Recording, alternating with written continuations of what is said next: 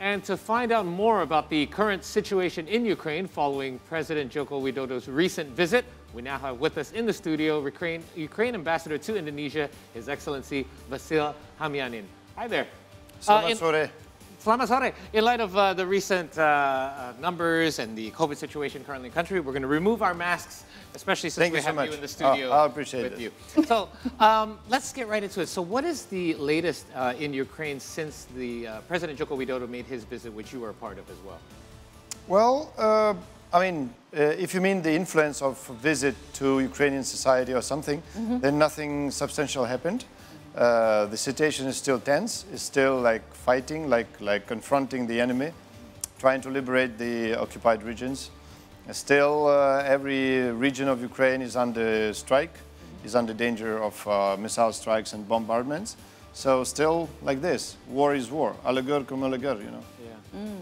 So um, when we talk about the uh, the purpose of the visit of the president, uh, of the Indonesian president Joko Widodo to Ukraine, what was, um, we, I mean, we know that his particular agenda was to focus, you know, on food security first and being able to, you know, uh, make sure that the grains that are in, in Ukraine will be able to be transported out, and that's why he decided to visit Ukraine and Russia afterwards. But what was, you know, setting up the visit for the president to come to Ukraine, uh, the process like? Perhaps you can share with us, um, you know, a couple of stories. You know, there must be a lot of processes, you know, in terms of security and everything. Was it a smooth process, and what was the response like when President Joko Widodo or his, uh, you know, his parties, uh, you know, approached you and saying, "Look, our president is interested to meet a visit," and how long did it take to set it up? Well, the, it's, it's, a very simple question. I would answer in one one word. It was a success, mm -hmm. a big success that uh, was uh, absolutely um, uh, like uh, given very high valuation by Ukrainian side, by Indonesian side too. So it was smooth, it was safe, uh, and uh, even my friend, well, well, the story uh, here is that one of my friends uh, called me and said, "Now, like, what happens? no bombardment, no, no, no warnings of air defense warnings. What happened today?" Said because it's a visit, very important visit. So, oh my God, I forgot. So it was the oh. maybe the only one safe day for Ukraine during last five months. Okay. Mm. Not a single missile struck the, the Ukrainian cities and, and uh, lands, right? A part of the, you know, the, the, the battlefield over there in the east. And uh, uh, unfortunately, the next day when Pak Jokowi left to Moscow, and we, he started peace talks with uh, dictator Putin, yeah. Same day, it was like 40 missile strikes on Odessa and other cities. So that was, I mean, that was uh, uh, obvious show of disrespect to, to Mr. Jokowi and to Indonesian, to Indonesian efforts by, by Russian uh, president. So that, there was a conscious effort then for them to stop everything on that? 100% sure. Okay. Mm. He just demonstrated the force and say, whatever you talk, I just don't care because I don't care about what you say. That was very pretty clear when you, when you listened to the press conference after that. Pak Jokowi was talking about the peace, about mm -hmm. the grains, about the uh, food security stuff, and Putin was talking about some bi bilateral things, like, uh, you know, like projects somewhere in the future. So that was clear that uh, the attitude towards the Pak visit in Ukraine and in Russia was absolutely different. Okay. Mm. Absolutely different. Would you say it was um, overall? I mean, you did say the trip was a success. Yes. Um, how productive was it on each of the ends? I mean, obviously you didn't feel it was that productive on the Russian end, but at least on the Ukrainian side of things. Well, uh, I'll start from Russian side. I think that from Russian side, to some extent, it was productive. In what meaning?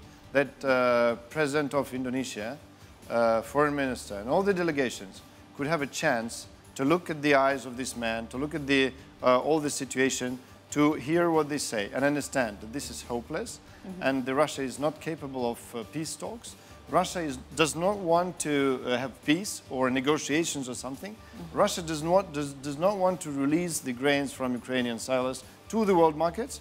This is very important gain, I think, from this visit. That's my percep- uh, that's how I, I understand this.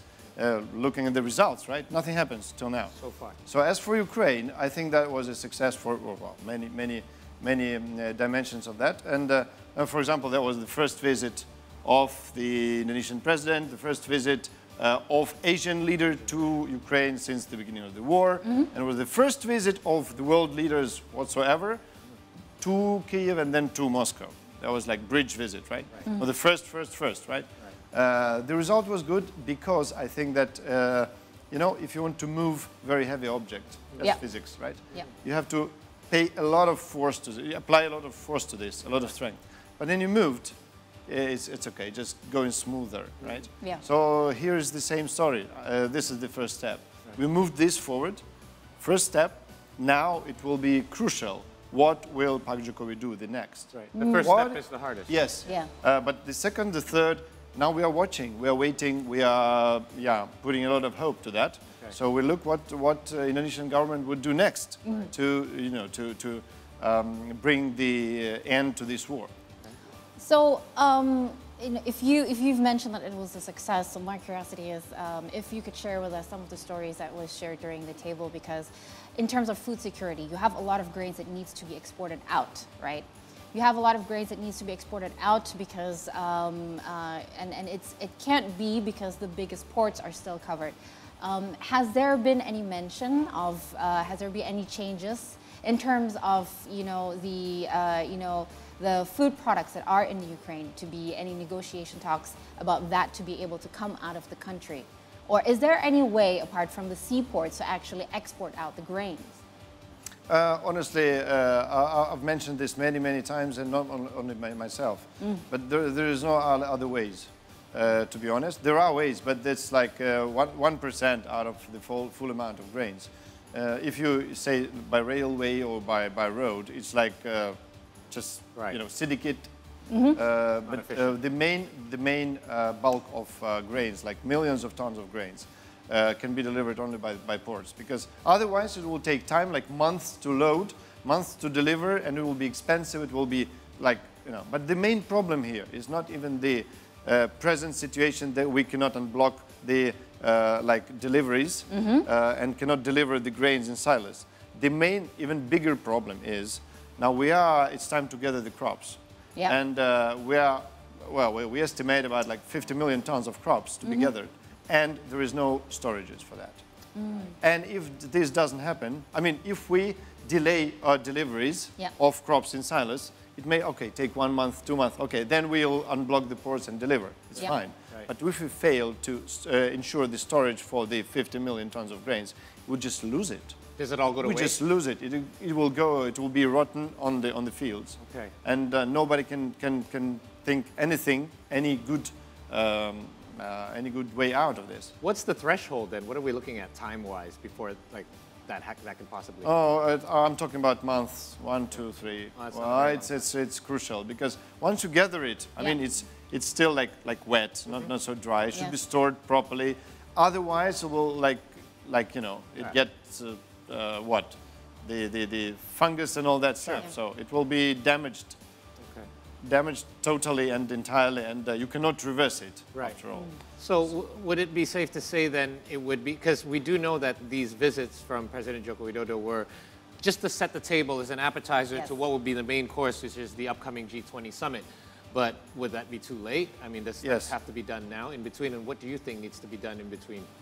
I've mentioned this since the beginning of the war. It will be too late whatsoever if we uh, put all the hopes to the G20 summit.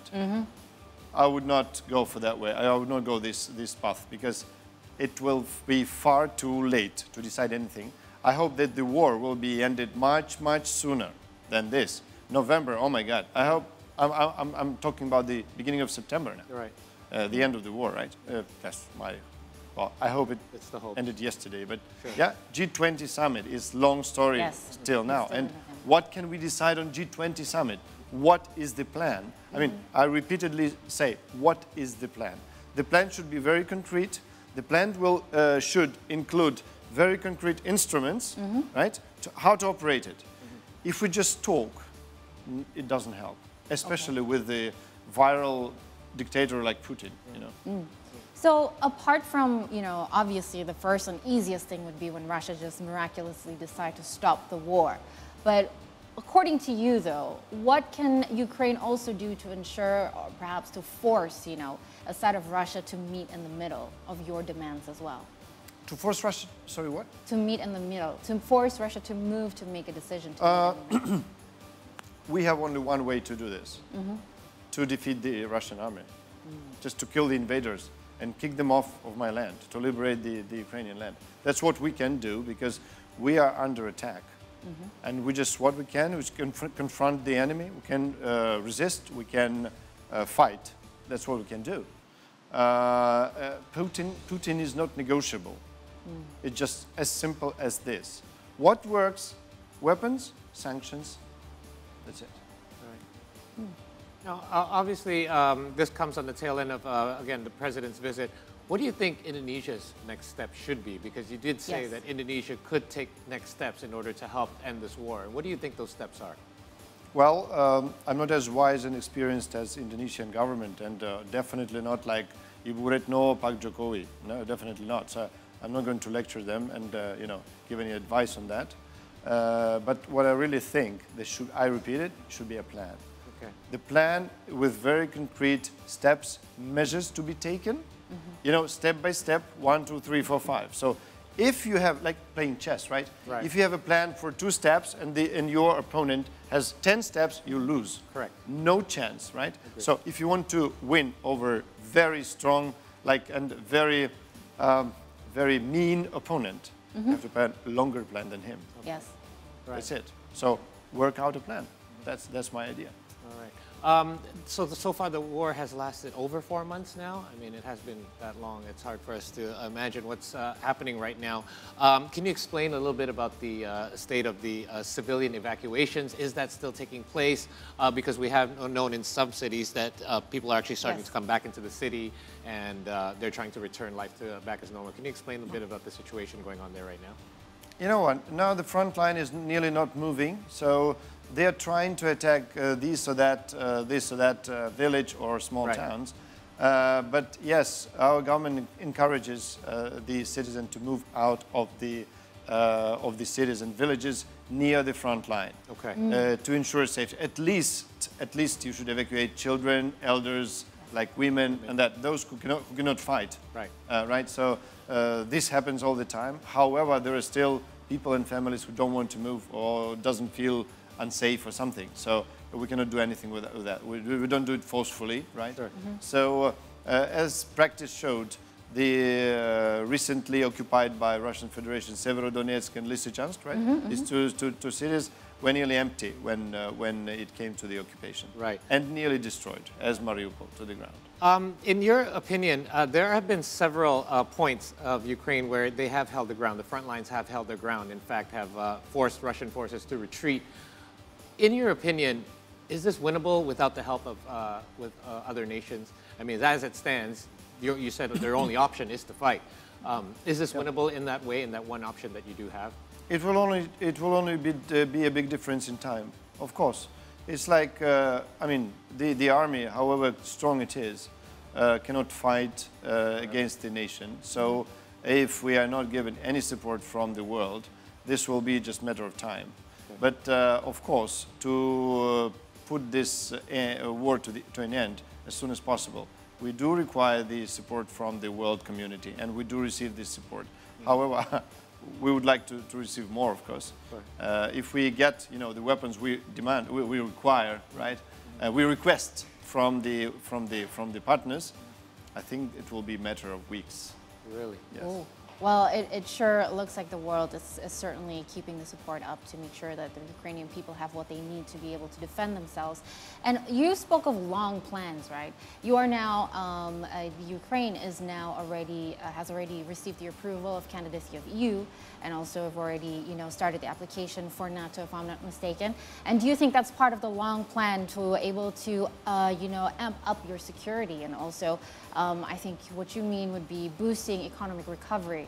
And is that, do you think, going to help uh, win this war as well? Although individually, of course, you know, EU member states are also helping you and you have a lot of partners helping you. No, by, by mentioning the plan, uh, just concrete plan, it will not uh, include the NATO membership or EU membership because this is long run. Yeah. This is long, long, long song which we can can last for years, maybe if not decades, right? So I'm talking about the immediate plan, immediate measures to be taken, Yeah. and it means uh, effectively the uh, the unity uh, of many nations uh, the ability of the world human of the humankind basically of the of the people goodwill to work out the plan together. How can we, uh, you know, resolve this uh, puzzle? How can we influence Putin to the extent that he would agree, including some, you know, undercover, under carpet agreements, whatever. I don't care what it, it is. Right. Uh, we, we only have few uh, very important points that we're not going to, uh, we're not going to uh, refuse. Yeah. We're, not, doing- we're not going to give up. Right. Yeah. Meaning the uh, sovereignty of Ukraine. Yes. Meaning the lands of Ukraine, our territorial integrity. Meaning the people of Ukraine, who should be protected, and those people forcefully, uh, like uh, taken to, to Russia, should be uh, should be should return to Ukraine. Who wants, of course, if, if, if there is any. So there should very concrete steps, and the world community should be united.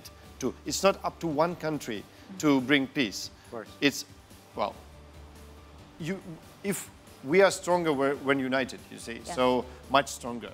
And uh, this, is, uh, this is the truth. And uh, if someone would lead the nations to unite and take decisions to replace in this function the Security Council of the United Nations, Mm-hmm. which is paralyzed because of Russia, that will be the answer. This will be the way out. It might be the G20. But, but It's we too cannot long wait to- till yeah. the summit. Yeah. So if we might say, um, hopefully there are a couple of your comrades in Ukraine being able to access this interview as well, what would your personal message be to your fellow Ukrainians? Because I understand the last time you came here, you also said that you are separated from some of your children, and I hope they're also still safe. Um, what would you love to say to your, um, to your fellow Ukrainians? Uh, message would be very clear and, and uh, please take care of yourself, stay strong, and trust our army. Trust the army. Your Excellency, thank you so much for taking the time to hang out with us a little bit and uh, give us a little bit more insight on the situation over there. We do hope that the situation is able to get resolved sooner than later.